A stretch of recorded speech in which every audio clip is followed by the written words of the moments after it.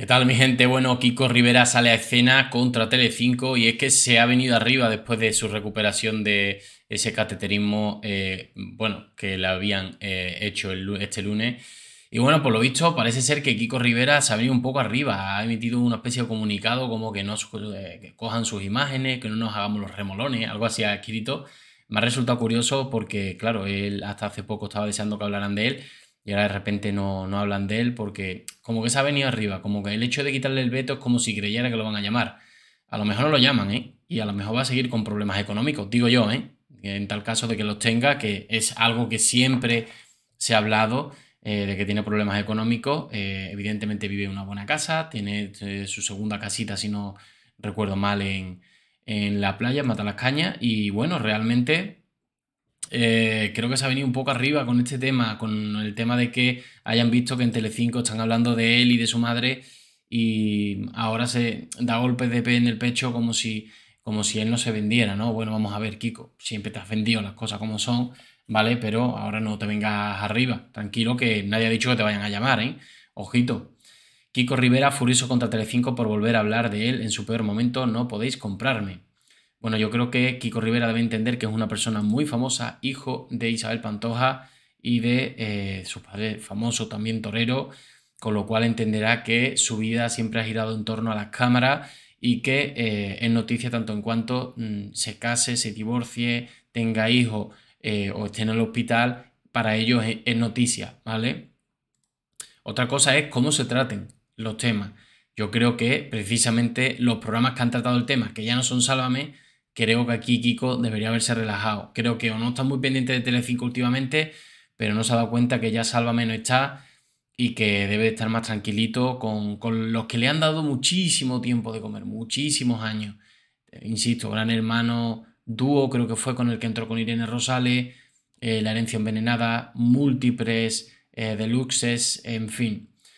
Desde que Mediaset implantara en febrero el nuevo código ético, Kiko Rivera estaba entre los personajes de los que no se podía hablar en ningún programa del grupo. Sin embargo, tras el fin de Sálvame el pasado 23 de junio, parece que las cosas han cambiado. Tanto es así que este lunes ya se habló eh, de él tanto en el programa Ana Rosa como en Así es la vida, el nuevo formato de Sandra Barneda por las tardes veraniega de Telecinco. Bueno, yo creo que estaba claro que, que el código ético se había hecho por y para terminar con las audiencias de, de Sálvame y así tener una justificación para quitarla de una manera menos... Eh, que no se diera cuenta, ¿no? Que, la, que lo querían quitar por lo malos que son. Cuando, oye, de forma objetiva, aunque las audiencias vayan bien, si los mandatarios creéis que, no es lo, lo, lícito o la forma de dar las noticias, la forma de actuar, se quita y punto, aunque sea de mayor mm, éxito de audiencia. O sea, es que las cosas son así. El hijo de Isabel Pantoja, que ya dejó un mensaje en redes este lunes actualizando su estado de salud, ha vuelto a abrir Instagram en la mañana de este martes. Hoy por segunda vez he vuelto a nacer y ya van dos, evitemos la tercera, ¿no creen? Gracias a Dios el cateterismo, aunque era una opción con menos posibilidades, salió bien y solo ha sido eh, un susto después de la mala pinta que tenía todo.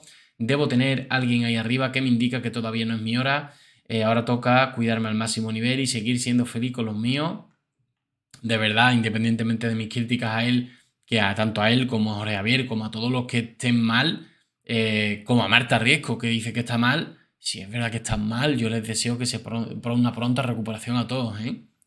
Bueno, después ha expresado su indignación contra Telecinco. Queridos amigos de Telecinco, no les voy a dar ningún tipo de declaración, ni mucho menos quiero saber nada de vosotros ni de toda la gente que os rodea. Hace mucho tiempo que vuestro dinero no podéis comprarme porque los mejores tesoros que tengo en esta vida no se pueden comprar Así que por mí ya saben eh, dónde pueden marcharse, apostillado.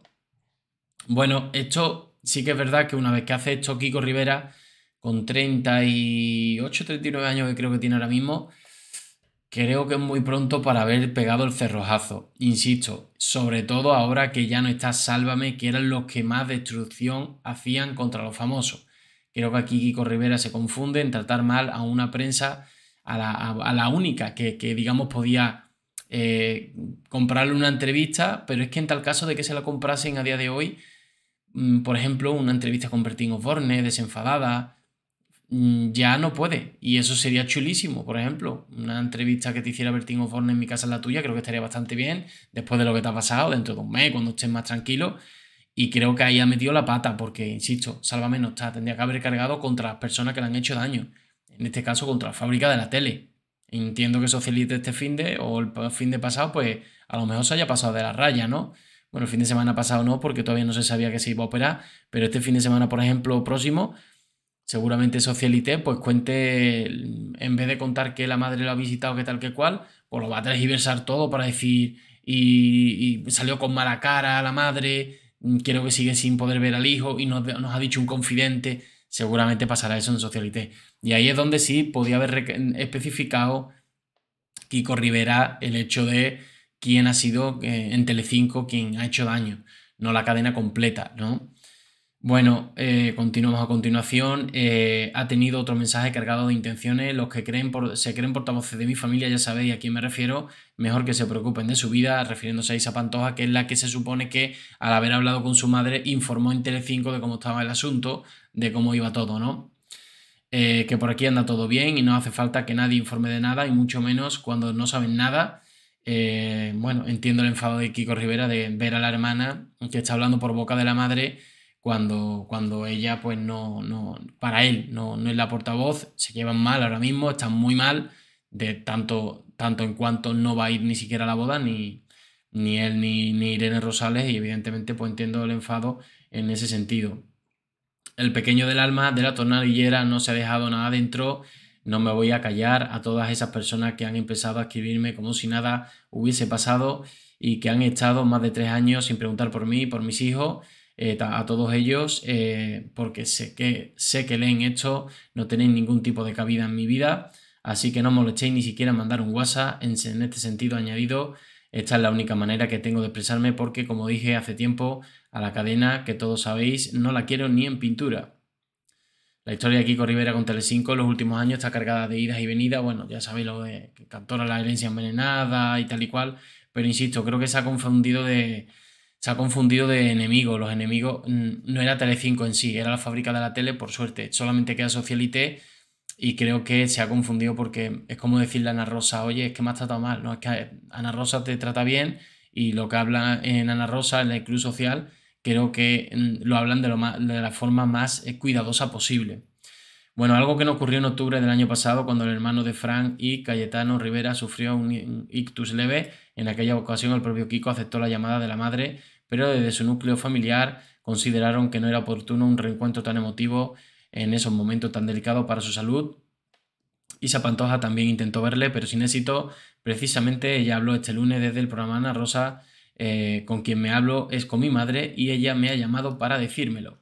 Digamos que también estuvo feo por parte de Isa Pantoja, ya lo, dije en un vídeo, que oye, mientras que tu hermano se está, un hombre no debatiendo entre la vida y la muerte, porque un cateterismo dicen que no es tan grave, aunque es verdad que tocar el corazón siempre hay que ser prudente, pero oye, yo no hubiera estado muy tranquilo trabajando, eh, y por muy mal que me lleve y que haya tenido una disputa hace dos o tres años, hasta hace nada habéis estado viviendo durante 20 muchos años eh, como uña y carne y ahora de repente Em, estar trabajando ese día cuando tu hermano está en un hospital, que además por ley te pertenecía al día, pues, por si no te hubieran dejado o tú hubieras pactado esa entrevista, yo lo hubiera cortado. Yo hubiera dicho, no, no, yo ese día no voy, voy a ver a mi hermano, eh, como hiciste la última vez, aunque no pudiste entrar, y tú intentas hacer de hermana y punto. Otra cosa es que no llevéis bien y tal y cual.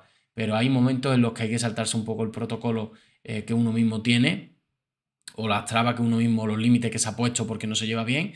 Y si ya fuiste en su momento por algo menos grave, ahora que era, mm, considero más grave, sí debería haber intentado y se haber ido. Yo sé que no la quiso recibir, yo sé que por las emociones, por tal y cual, que seguramente tampoco la querría recibir luego en casa, pero tú tienes que intentarlo como hermana, ¿no? Ya luego que te dice que no, pues bueno, donde las das las tomas. Pero en un principio, yo que Isa apareció en Telecinco mientras que están operándolo en ese momento, sí que estuvo feo, ¿no? No sé vosotros qué pensáis, dejadme en comentario, bueno, esta parrafada de, Kiko Rivera contra Telecinco, eh, ¿os parece bien, os parece mal? Yo entiendo lo mal que lo ha pasado con Sálvame y estos programas, que son precisamente a los que él ha acudido, pero oye, ahora que está así Sandra Barneda y Ana Rosa, pagarlas con ellos, ¿no? Que, digamos que, que, son los únicos que van a hablar de ella, me ha parecido feo, ¿no? Mi gente, nos vemos en el siguiente vídeo. Un saludo.